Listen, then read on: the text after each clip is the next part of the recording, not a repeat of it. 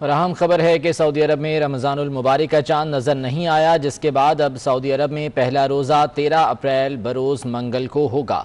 Saudi अरब में रमज़ानुल मुबारक का चाँद नज़र नहीं आया, पहला रोज़ा 13 अप्रैल बरोज़ मंगल होगा। सऊदी सुप्रीम कोर्ट की जानब से आज उनतीस शाबान को चाँद देखने का हुक्म दिया गया था। ताहम चाँद नज़र नहीं आया, जिसके बाद अब सऊदी अरब में पहला रोज़ा तेरह अप्रैल बरोज़ मंगल होगा। पहला रोज़ा 13 अप्रैल बरोज़ मंगल को होगा। सऊदी अरब में रमज़ान मुबारक का चाँद नज़र नहीं आया। पहला रोज़ा 13 अप्रैल बरोज़ मंगल होगा। सऊदी सुप्रीम कोर्ट की जानब से आज उनतीस शाबान को चाँद देखने का हुक्म दिया गया था।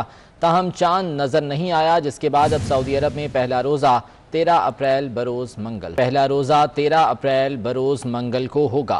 सऊदी अरब में रमजानुल मुबारक का चाँद नज़र नहीं आया। पहला रोजा तेरह अप्रैल बरोज मंगल होगा। सऊदी सुप्रीम कोर्ट की जानब से आज उनतीस शाबान को चाँद देखने का हुक्म दिया गया था। ताहम चाँद नज़र नहीं आया, जिसके बाद अब सऊदी अरब में पहला रोजा तेरह अप्रैल बरोज मंगल होगा।